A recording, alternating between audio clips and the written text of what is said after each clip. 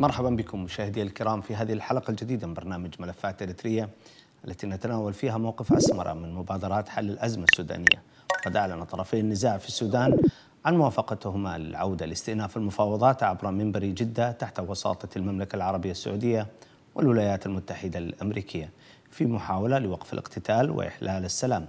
يأتي ذلك عقب انتهاء اجتماع رؤساء دول الجوار السوداني في القاهرة وكانت قمة القاهرة قد وجدت تجاوبا وإشادة من الرئيس الإريتري سياسة فورقي الذي خاطب القمة وشدد على الحفاظ على سيادة الدولة السودانية ووحدة أراضيه. يذكر أن إريتريا لم تبدي تفاعلا مع مبادرة منظمة الإيجاد رغم أنها عضوا في المنظمة كما لم تعلق بشكل صريح على اجتماع الرباعية غير أن فورقي رفض مخرجاته بطريقة غير مباشرة. إذا ما هو الموقف الإريتري من مبادرات حل الأزمة السودانية؟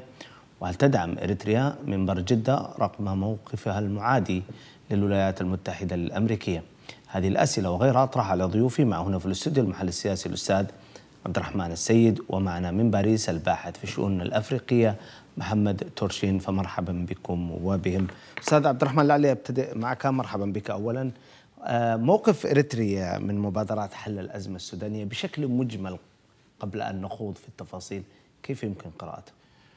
الموقف المعلن هو أن حل حل مشكلة السودان يجب أن يكون سودانيا محليا. نعم.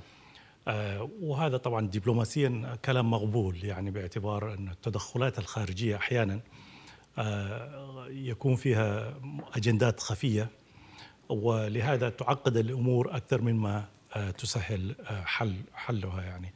فمن هذا الباب الموقف المعلن أنه حل المشكلة السودانية بأيادي وعقول سودانية مقبول دبلوماسيا. نعم.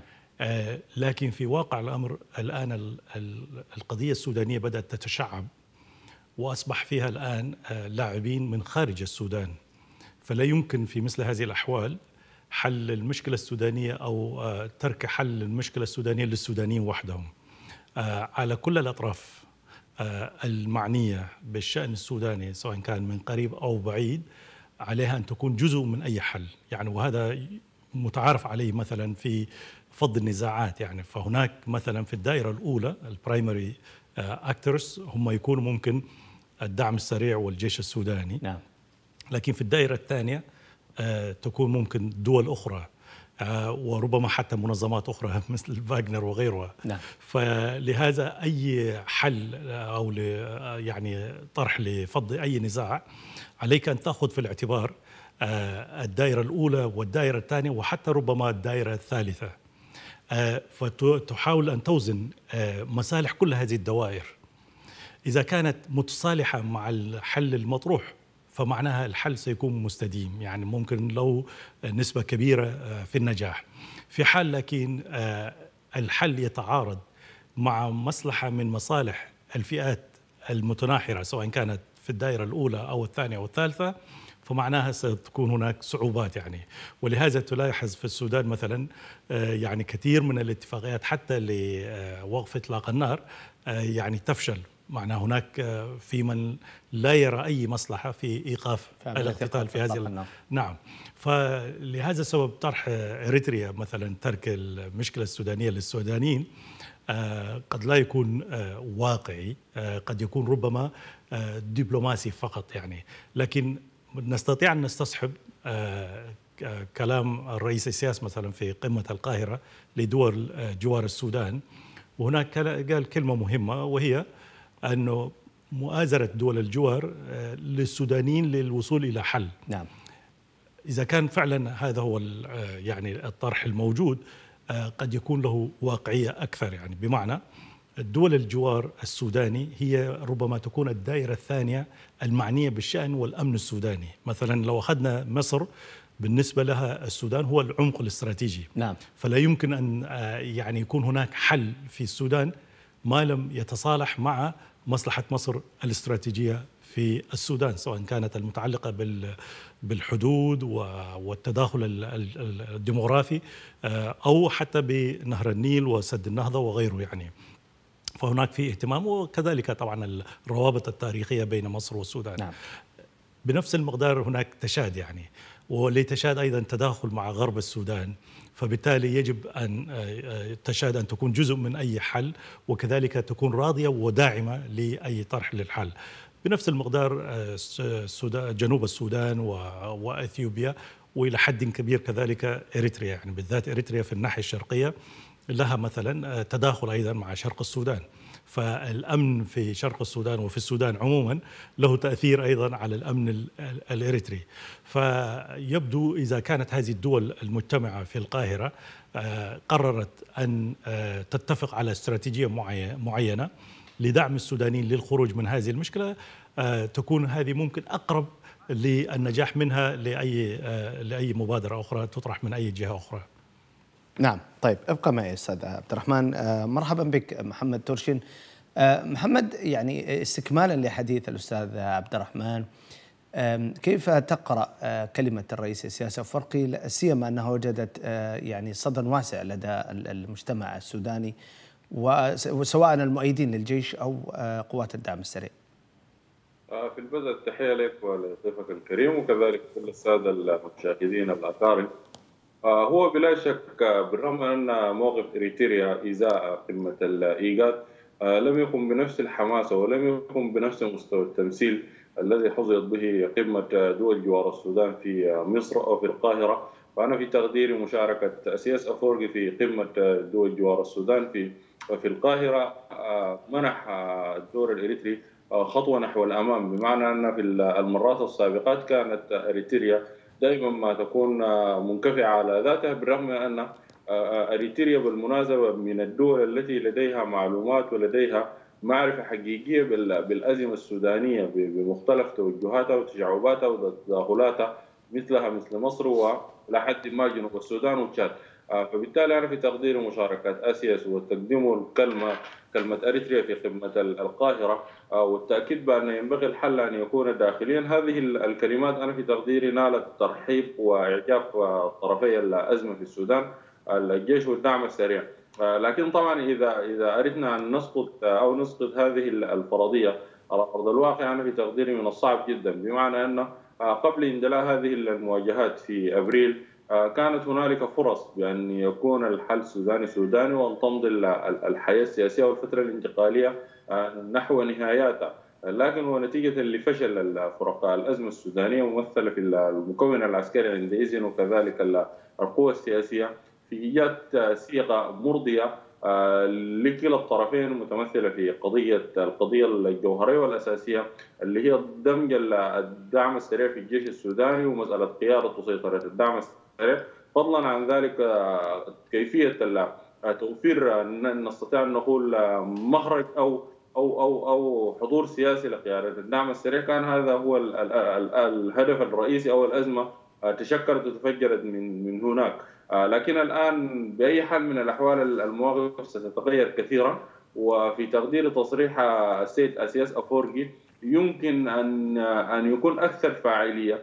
وأكثر اثرا ايجابيا إذا مضت قدما اريتريا في التدخل. أنا في تقديري ليس التدخل السالب وإنما التدخل لمحاولة عودة الأوضاع إلى الأمن والاستقرار. بمعنى إنه الآن أكثر الدول تاثرا وتضررا بهذه الحرب الدول المجاورة للسودان وإن كانت نسب التضرر والآثار نسبية لكن إريتريا هي من الدول المجاورة للسودان وبالتالي الحرب بالرغم من إنه في في الشريط الحدودي أو في شرق السودان لم تكن بنفس فاعليتها في الخرطوم أو في دارفور أو في بعض المناطق الأخرى لكن بأي حال من الأحوال إذا استمرت هذه الحرب أكثر فأكثر فالتداعيات السياسية والأمنية والاقتصادية وحتى الاجتماعيه ستطال أريتريا. أنا في تقديري الآن الموقف الأريتري يمكن قراءته أو فهمه بشكل جيد بيتوقف في مشاركه أريتريا في الاجتماع المقبل المنعقد في إنجمينا بمستوى وزراء الخارجية لتنسيق وبلوره موقف موحد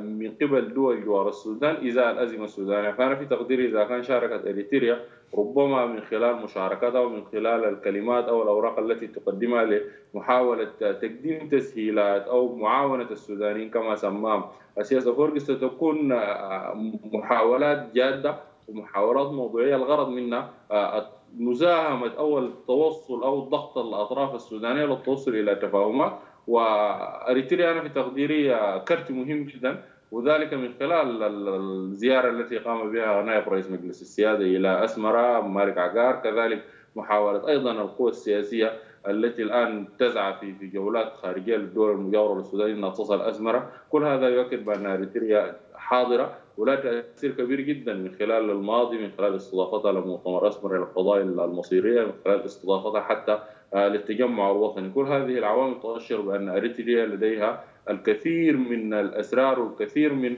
مكامن القوى إزاء الأزمة السودانية. طيب محمد يعني رأيك في استئناف مفاوضات منبر جدة سيما أن أحد بنود مخرجات القاهرة كان ينص على دور دول الجوار للسودان وتشكيل آلية من وزراء خارجية دول الجوار وعقد اجتماع الأول أو الاجتماع الأول في تشاد.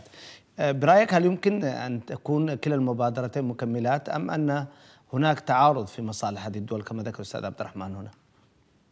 هو هو ال ال ال حتى الآن أنا في تقديري ما في تعارض كذا يعني واضح المعالم أو تضارب مصالح يسهم بشكل أو بآخر إلى تعقيد الملف أو قيمة دول جوار السودان بمخرجاتها وتصوراتها باعتبار حتى الآن التصورات لم تتبلور بالشكل الكامل والنهائي لكن من المتوقع أنها تتبلور. وفي تقديري هذه الدول بتسعى بشكل أو بآخر دول جوار السودان أن الأزمة السودانية يتم السيطرة عليها واحتوائها حتى لا تتجاوز اثارها وتداعياتها الإنسانية والأمنية والسياسية وحتى الاجتماعية حدود السودان أو أو أو تأثيراتها تتجاوز الدول الآن التي تتأثر بهذه الأزمة بشكل أكثر كجنوب السودان كمصر كأثيوبيا إلى حد ما وكتشاد.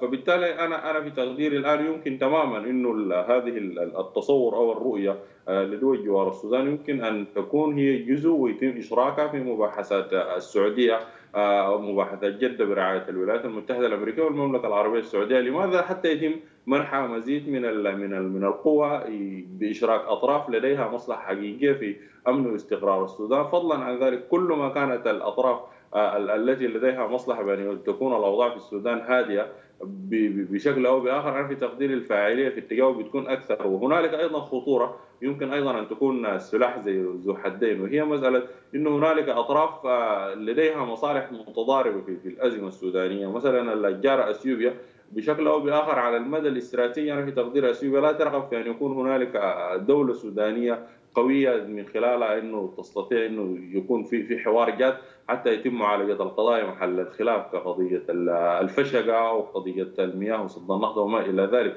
عكس مثلا إريتريا عكس جنوب السودان عكس مصر اللي بتفتكر إنه السودان لابد إنه يكون مستقر وتحت حكم شمولي عسكري.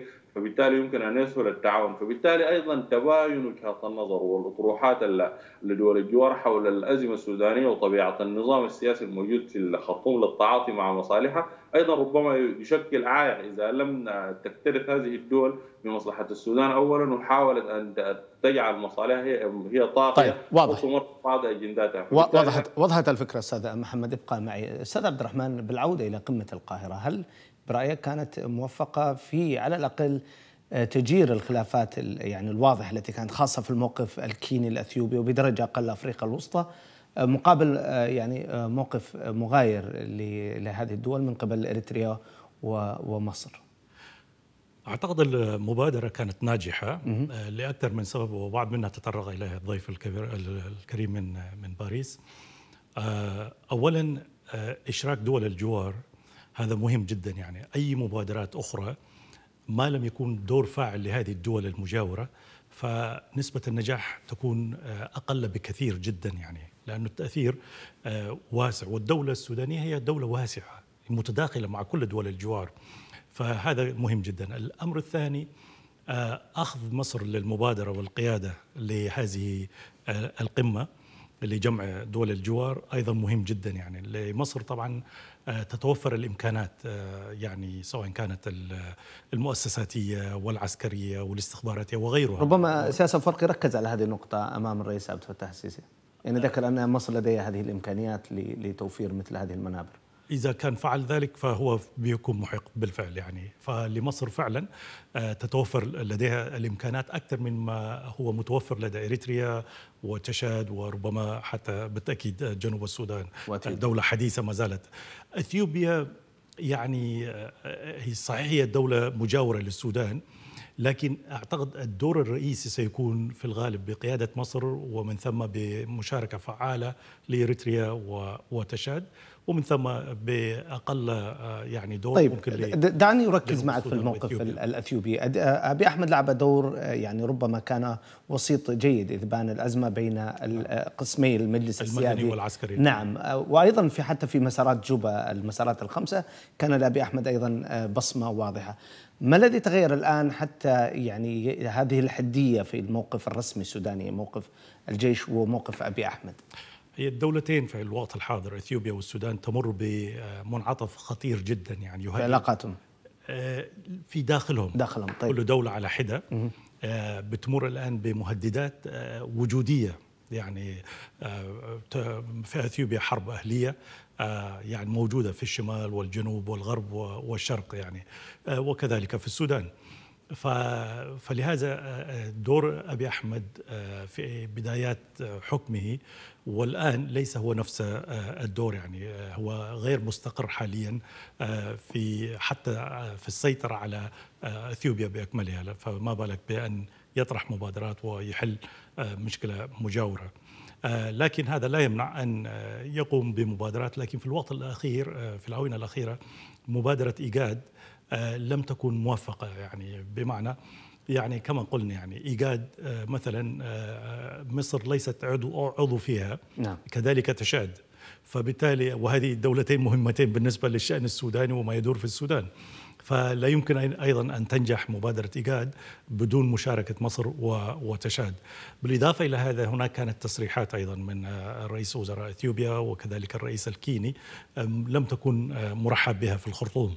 فلهذه الأسباب الآن الدور الوسيط عادة يجب أن يكون مقبول من لدى كل الأطراف يعني وهذا القبول حاليا غير متوفر لأبي أحمد حتى يلعب هذا الدور. نعم طيب محمد تورشين برأيك يعني هذه المواقف السلبية اللي كما وصفها على الأقل آه، مناصري المجلس العسكري آه، من لكلا من من كينيا وأثيوبيا خاصة الموقف الأثيوبي برأيك هل هذا الموقف نابع من التجربة الأثيوبية في في الصومال والتدخل العسكري آه، سواء عن طريق قوات حفظ السلام الاتحاد الأفريقي أو القوات الأثيوبية بشكل مباشر أم أنه نتيجة لتباين الآراء فيما يخص سد النهضة والازمه الحدودية في الفشقة؟ أنا في تقديري العوامل كثيرة ونستطيع أن نقول إنها مجتمعة. وهنالك جانب أيضا مهم جدا. أثيوبيا في في توجهاتها وفي سياساتها الخارجية بتسعى إنها تكون هي دولة مفتاحية ودولة إقليمية ذات تأثير كبير جدا على الشأن الشرق أفريقي أو في منطقة القرن الإفريقي وبشكل كبير جدا. وهذا ملحوظ تماما في تدخلها في في في في الصومال وكذلك دورها الذي أشار له الأستاذ الكريم في السودان إبان سقوط نظام عمر البشير وغيرها من الأزمات الإقليمية التي كانت فيها إثيوبيا حاضرة. فضلا عن ذلك أنا في تقديري هذا التصلب أيضا.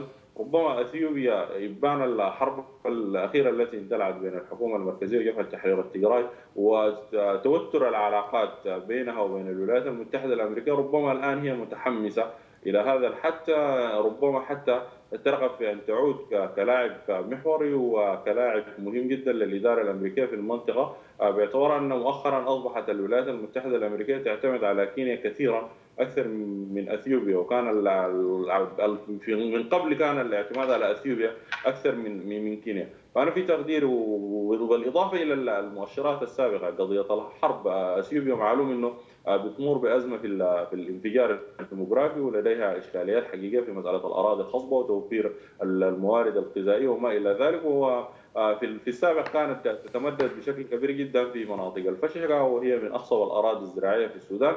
لكن عندما بدأت القوات المسلحة في استعادة بعض الأراضي توترت العلاقات أكثر بين الجانب السوداني والجانب الإثيوبي فضلا عن ذلك الموقف السوداني غير متزن أو غير واضح المعالم في قضية صد النهضة. تارة عندما تم التوقيع على اتفاق إعلان المبادئ في نظام عمر البشير كان كان الموقف السوداني أقرب للجانب الأثيوبي. لكن سرعان ما تغيرت هذه المواقف إبان الحكومة الانتقالية حتى في إبان الحكومة الانتقالية كانت الرؤية السودانية غير متزنة وغير واضحة. تارة مع أثيوبيا وتارة مع مصر حتى الآن لم تكن هنالك أو تتبلور رؤية سودانية وهذا أيضا من الإشكاليات. التي دائما تسعى إثيوبيا وهي تعتبرها من قضايا الأمن القومي كما مصر تعتبرها من قضايا الأمن القومي. فبالتالي إثيوبيا بتفتكر إنه القوى السياسية المدنية هي لديها علاقات معها جيدة علاقات ممكن من خلالها تؤثر على على المستقبل القرار السياسي. المرتبط بصدد النهضة وبتعتبر إنه الجانب العسكري لديه علاقات قوية مع مصر ومصر صاحبة تأثير كبير جدا على المؤسسة العسكرية السودانية. كل هذه العوامل مجتمعه بتجعل إنه الموقف الاثيوبي يسعى من خلال هذا الأمر إنه تؤكد على أن هنالك فراغ سياسي ومن خلاله يمكن أن يتم تشكيل حكومة في المنفى وكذلك التدخل العسكري في السودان باعتبار أن هذا الأمر سيكون في صالح آخر كتلة سياسية كانت فيها حاضرة وهي قوى الحريه والتغيير المجلس المركزي المتواجد حاليا في أثيوبيا يعني. فبالتالي الجانب الأثيوبي ينظر إلى هذه المسألة بهذه الأبعاد. كذلك الجانب الأثيوبي أنا في تقديري هنالك جزئية أيضا مهمة أشار لها الأستاذ الكريم لكن لم يكمل أنا في تقديري توصيفها باعتبار إنه إذا كان النظام السياسي في الخرطوم هو معادي لأثيوبيا أو بينهم نقاط خلاف كثيرة أو كبيرة يمكن أن تكون هذه أيضا مقدمة لاحتضان المعارضة سواء كان التجراي باعتبارهم مجاورين للحدود السودانية أو حتى جبهة بني شنغول باعتبار أن الآن هنالك العديد من الأصوات من أبناء بني شنغول يتحدثون بشكل مباشر بأن لديهم رغبة في حق تقرير المصير أو العودة إلى السودان وما إلى ذلك فهذه أيضا الجبهه إذا تم دعمها من السودان سيكون مهدد كبير جدا على أمن واستقرار أثيوبيا فضلا عن أشكالية إقليم الاوجودين الأروم وما إلى ذلك. فهذه التحديات أيضا أثيوبيا تنظر إلى الجانب السوداني بشكل من الريبه والخوف. بحيث أن حتى النظام ملي الزناوي الذي وصل إلى الحكم كان بدعم مباشر من السلطات السودانية عندئذ. فكل هذه العوامل بتجعل إنه أثيوبيا تتعامل مع الأزمة السودانية بالتعاطي ومحاولة إنه أن يكون شركاء أو حلفاء في السلطة عكس المجموعات المناوئة لها.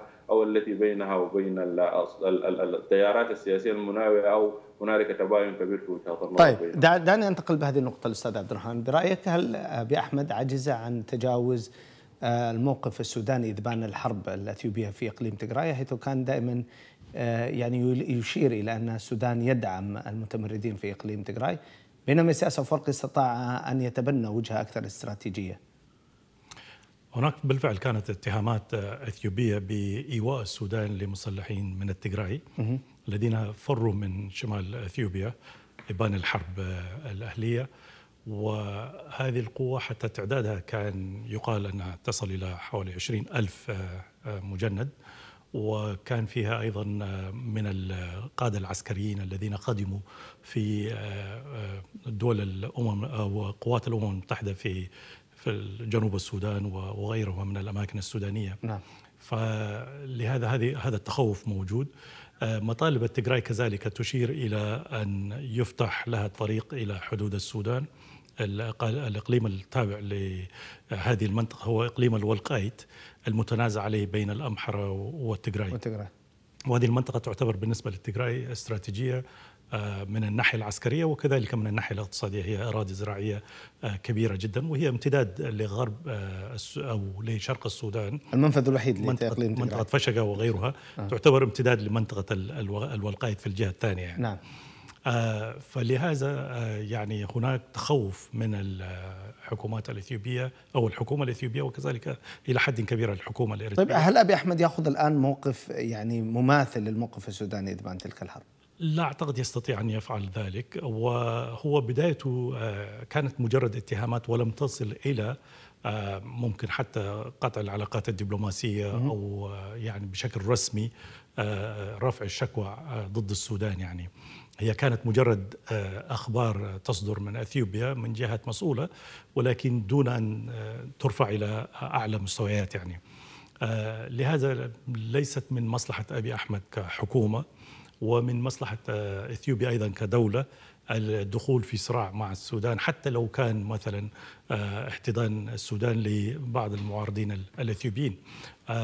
أمور أخرى هي تتعلق بمنطقة الفشقة وأستاذ محمد كان أشار إليها. أو سر فشقة قلت هذه منطقة بني شنقول نعم. فيها يوجد سد النهضة ويعتبر هذا على بعد 10 كيلومترات من الحدود السودانية. وبني شنقول كمجتمع هو أقرب إلى السودان منه إلى أثيوبيا. باقي باقي شعوب أثيوبيا نعم. أثيوبيا هي متشعبة ولكن بشكل عام آه، أقرب إلى آه، السودان ولهم حركة أيضا آه، تطالب بحق تقرير المصير فلهذا إذا احتضن السودان ولأكثر من سبب يعني غير أنه هذه المنطقة تعتبر تاريخيا امتداد للسودان آه، لكن الآن وجود سد النهضة في هذه المنطقة يجعل من هذه المنطقة أكثر أهمية حتى لدعم أي تحرك آه، آه، في هذه المنطقة من قبل أثيوبيا. السودان وإلى حد ما من طيب. قبل السودان. أتيح لك إكمال الفكرة إن سمحت لي بعد فاصل أعود لك بعده أعزائي المشاهدين فاصل نعود لكم بعده فانتظرونا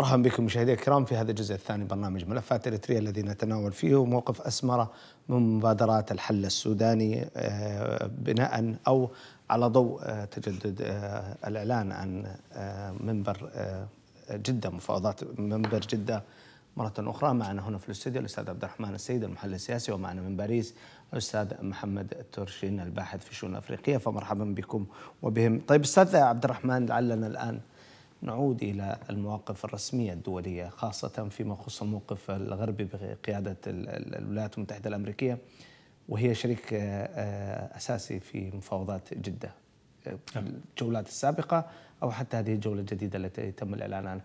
كيف يمكن توصيف الدور الأمريكي؟ الدور الأمريكي حاليا يحاول أن يركز في المسائل الإنسانية والهدنة إنسانية وغيرها ولهذا حتى مؤتمر جدة كان يتعلق بهذا الجانب يعني إنه الجانب الإنساني أكثر منه من طرح سياسي لحل أزمة السودان. آه، آه، الدعوات الأخرى هي الدعوات الدبلوماسية آه، يعني للجلوس وحل القضايا بشكل سلمي لكن لأمريكا طبعا بالإضافة إلى بعدها عن ما يدور في السودان بالذات في أيام آه، حكم عمر البشير وما بعده آه، الاستراتيجية كانت دائما عدائية للسودان ككيان ككل يعني ومشجعة لانقسام السودان إلى دويلات يعني ابتداء بالجنوب ومن ثم حتى استمرارا نحو الغرب ومناطق أخرى. آه، هذه الاستراتيجية ما- يعني لم يعاد النظر فيها وحتى تأتي باستراتيجيه جديدة للتعاون مع آه، الحكومة السودانية آه، ولعلك تكون سمعت مثلا كانت هناك آمال بعد انفصال الجنوب أن يرفع مثلا يعني الحظر الاقتصادي وغيره آه، من السودان ولكن لم, لم يحصل, يحصل. لم نعم. يحصل هذا وحتى بعد إعادة آه، آه، التواصل السوداني مع إسرائيل كذلك كانت هناك آمال لأن تكون تعاون ومساعدات اقتصادية أمريكية للسودان ولم يحصل هذا وما زال السودان في قائمة الدول المحظورة حتى عندما تقدم آه، للتأشيرة إلى أمريكا. فإذا كنت حتى أجنبي ولكن زرت السودان لسبب وآخر فهذا يكون سبب كافي لمنعك من آه، دخول الولايات المتحدة آه، الأمريكية. فإذا هذا الموقف بالتأكيد لا يجعل من الولايات المتحدة يعني ال- الوسيط المناسب لطرح حلول ومساعدة آه، الوصول إلى هذه الحلول. آه، فهذا ما أراه بالنسبة لموقف الولايات المتحدة الأمريكية. لكن بالنسبة للدول الأخرى كالسعودية والإمارات آه، هذه الدول آه، لها ارتباطات وعلاقات آه، بالسودان سواء كانت حكومات أو آه، مجتمع مدني. وكذلك آه، آه، يعني أعداد كبيرة من السودانيين يعيش في هذه الدول كموظفين وعمال وغيرهم يعني.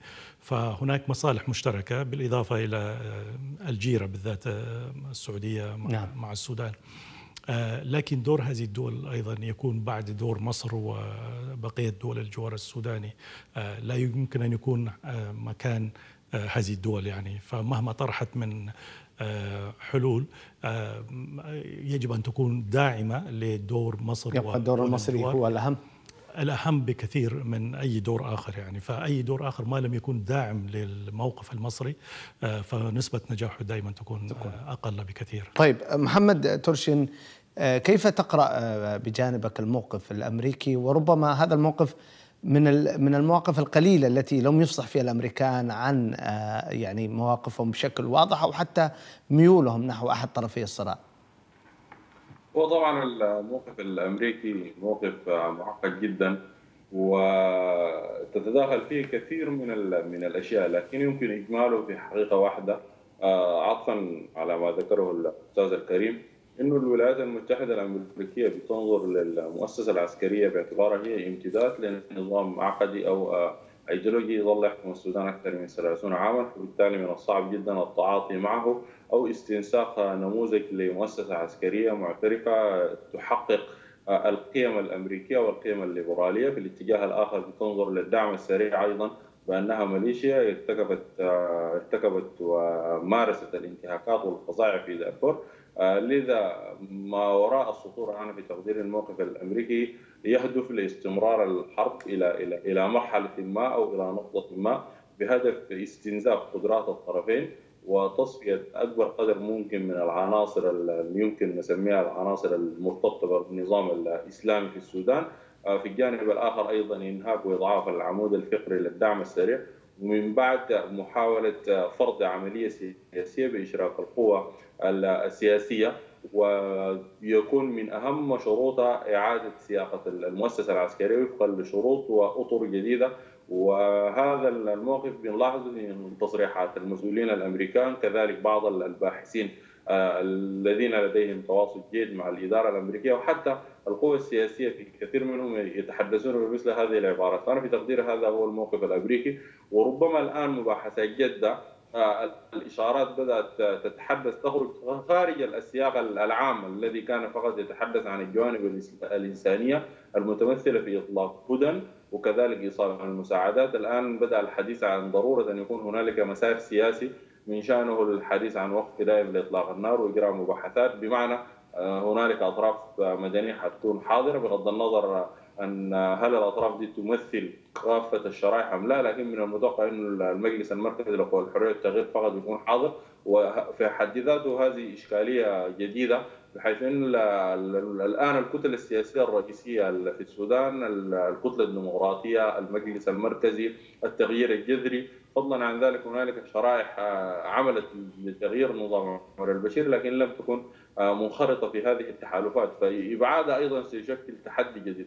فأنا في تقديري هذا الطرح يمكن أن يشكل لنا بشكل عام الموقف الأمريكي باعتبار أنه الآن حصل إنهاك وحصل بشكل أو بآخر إضعاف للقوى العسكرية للدعم السريع بشكل كبير جدا وإلى حد ما الجيش السوداني والاستجابه التي حدثت من شرائح واسعة كذلك من عناصر بارزة من النظام البائد لاستنفار قدر أو عدد كبير جدا من المقاتلين للجيش السوداني هذا ربما أيضا يجعل الإدارة الأمريكية تستشعر بالخطر الأكبر بأن انخراط مثل هذه العناصر في الجيش السوداني سيعقد المهمه والتصور الأمريكي أكثر فأكثر ربما رأت إنه الآن حان الأوان إنه يعني تقف الحرب وفقا للرؤية والتصور الامريكي.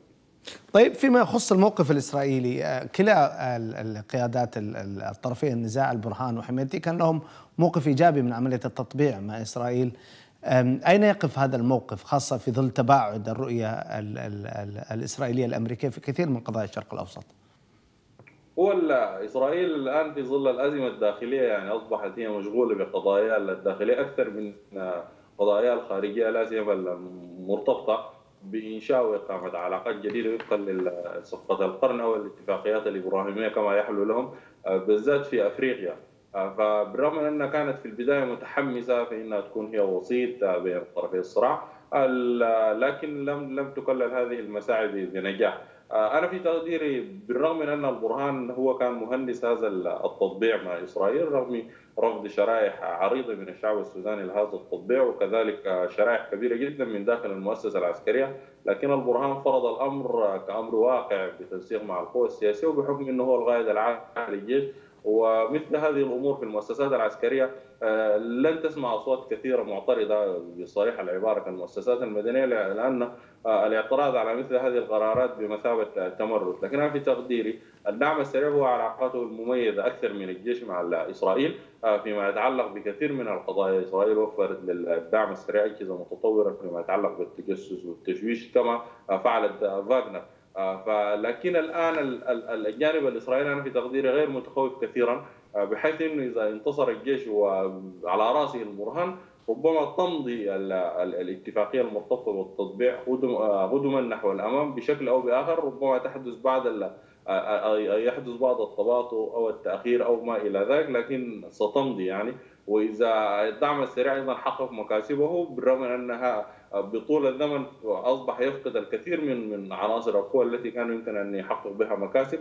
كانت العلاقات ستكون بشكل مختلف وبشكل جيد لأن قيادة الدعم السريع بما في محمد حمدان دقلو كان لا يتوارون خشية بان إسرائيل دولة ديمقراطية ويمكن الاستعانة بها وما إلى ذلك. فبالتالي في كل الأحوال الآن إسرائيل آه، على على على على الأزمة السودانية بتعقيداتها وباشكالياتها فضلا عن أزماتها الداخلية والتعقيدات التي تعيشها. لا تهتم كثيرا بالأزمة السودانية فقط ربما هي بحالة آه، لانتصار آه، طرف أو تحقيق تسوية سياسية ومن بعد يمكن أن تتعاطى. لا سيما بأن الإمارات كان لها دور كبير جدا في في في توجيه البرهان. ومحمد حمدان دقلو نحو هذه العلاقات. فهذا أيضا مرتبط بطبيعة النظام السياسي الغارب إذا كان لديه علاقات جيده مع الإمارات ربما يمضي غضما في هذا المسار مسار التطبيع أو إذا كان ليس لديه تواصل جيد مع الإمارات والعلاقات أصبحت متوترة شيئا ما فايضا مسار سينعكس على العلاقة مع إسرائيل. طيب واضح محمد ابقى معي. أستاذ عبد الرحمن قمة القاهرة قبلها قمة الإيجاد الآن منبر جدة دور إماراتي إسرائيلي أمريكي وغيره آه، برأيك أين يكمن الحل آه، في الأزمة السودانية؟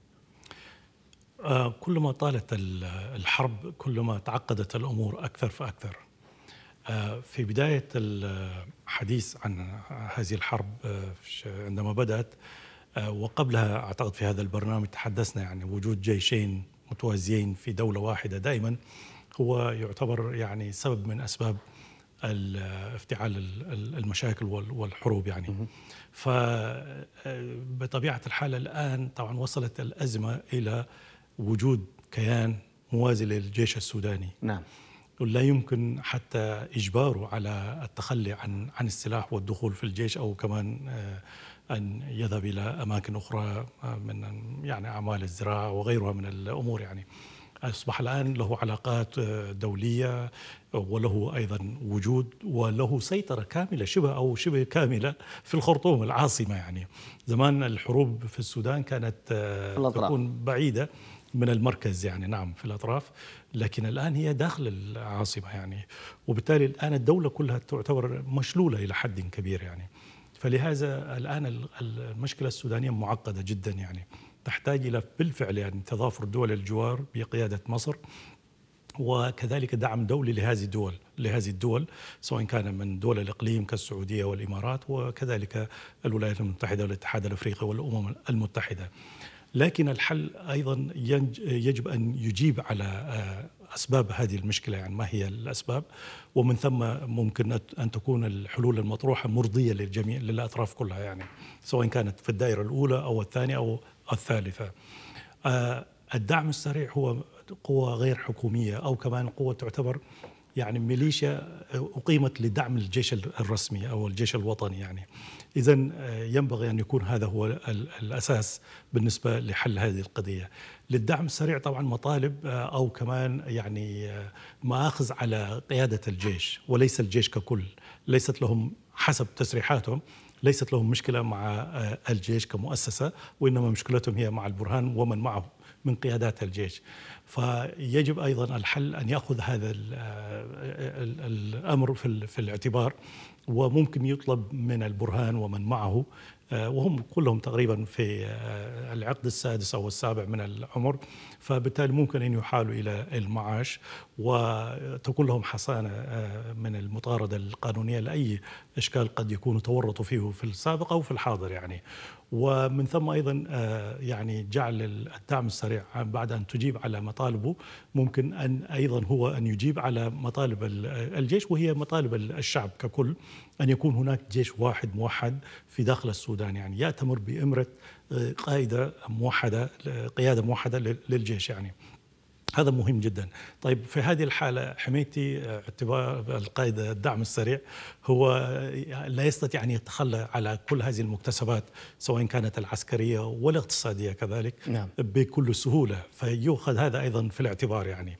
فربما يعطى ضمانات مثلا أن يتحول إلى حزب سياسي إذا كان عنده رغبة في الوصول إلى السلطة وربما أن يحتفظ ببعض المكاسب الاقتصادية التي حققها خلال الشهور والسنوات الماضية وأن يتخلى عن الجانب العسكري وممكن أن يحتفظ بقليل من الحراسة الشخصية ومن ثم الدخول في المعترك السياسي للوصول إلى السلطة. وهذا ليس بغريب في السودان يعني هناك أسر بالفعل آه، تقود حزب الأمة وحزب الاتحاد الديمقراطي وغيرها. فأن تكون هناك أيضا آل دوغلو أن يكون هم أيضا آه، لهم حزب آه، تحت قيادتهم وأن يمارسوا الحياة السياسية من خلال مثل هذه الأحزاب.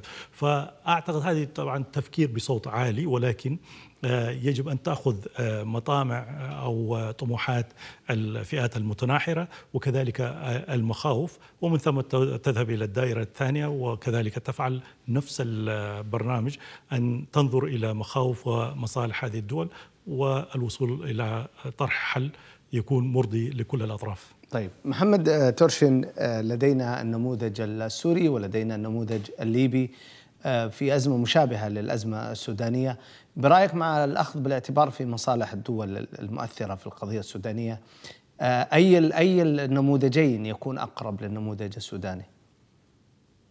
والله حتى الآن النموذج السوري هو بعيد لأن النموذج السوري هنالك شعب انتفض خرج لتغيير النظام السياسي والنظام السياسي واجهه بالعنف بالقوه بالاستبداد يعني وفي الحالة الليبية هي الأقرب لكن هنالك بعض التفاصيل وكذلك بعض الأحداث هي التي تظل تميز الحالة السودانية عن الليبية والحالة الليبية عن السودانية بحيث أن الوضع في ليبيا آه، استطاعت المجموعتين المتقاتلتين إنها تسيطر على مناطق وتكون لديها آه، قواعد وأنصار آه، ومدن بعينها تدين بالولاء الأمر الذي عقد المشهد أكثر في أكثر. حتى الآن الدعم السريع في استراتيجيته ما اعتمد على هذه المقاربة.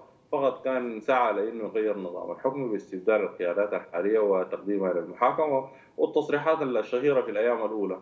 آه، لكن لم ينجح المخطط. وحتى الآن أنا في تقديري آه، محاولة استنساخ النموذج الليبي هي صعبة جدا ستواجه بالمقاومة وربما بالقمع. لا سيما إذا تهور الدعم السريع وحاول أنه يفرض هذا النظام في في دارفور. باعتبار هي أكثر المناطق آه، ملائمة والبيئة فيها تتوفر بشكل كبير. باعتبارها بعيدة عن العاصمة هنالك صعوبة للوصول نتيجة للتعقد في وسائل الحركة والمواصلات. آه، فضلا عن ذلك البيئة أيضا المجتمعية هي متقبلة ومستقبلة لفكره التمرد على الدولة المركزية وهذا حدث منذ العام 2002 2003 لكن في الاتجاه الآخر الدعم السريع هو آه، ارتكب جرائم وانتهاكات في حق المدنيين العزل نفس الممارسات التي يمارسها الآن في الخرطوم مارسها من قبل في في دارفور إزاء المجموعات والحواضن الاجتماعية التي انطلقت منها الحركات المسلحة أقصد الحركات التي وقعت اتفاق دول السلام والتي لم توقع أيضا. آه، فبالتالي من الصعب جدا أن يجد ترحيب وقبول من من كل المجتمعات أو حتى التسريبات التي آه، آه، حاول من خلالها محمد حمدان نقول أن يلتقي بالسلطان بحر الدين ويقدم تصريحات وتفسيرات لما حدث في الجنينه لكن رفض فهذا ما يؤكد لك أن هنالك شرخ اجتماعي ورفض آه، لممارسات حتى ولحضور الدعم السريع بأي حال من الأحوال. فأنا في تقدير الحالة السودانية حالة معقده تتداخل فيها الكثير من من التفاصيل والتعقيدات لا سيما التفاصيل الهيكلية الموجودة في الدولة السودانية، الدولة السودانية فيها اختلالات هيكلية كبيرة جدا في مؤسسات الدولة بدءا من المؤسسة العسكرية وانتهاء بآخر مؤسسة فيها إشكالية واختلالات حقيقية في العمل السياسي وممارسات القوى السياسية في إشكاليات حقيقية في في في محاولة تصنيف الحياة السياسية بشكل عام والحياة السودانية بشكل عام أبيض أسود هلال مريخ إسلاميين علمانيين أو أو يساريين. الآن الجيش دعم سريع يعني مسألة اغلاق آفاق التفكير بصوت عالي أو إخفاق السياسيين السودانيين دوما في إيجاد حل ثالث أو طريق ثالث. أنا في تقديري سيعقد المشكلة. والآن الملامح أصبحت أكثر تعقيدا.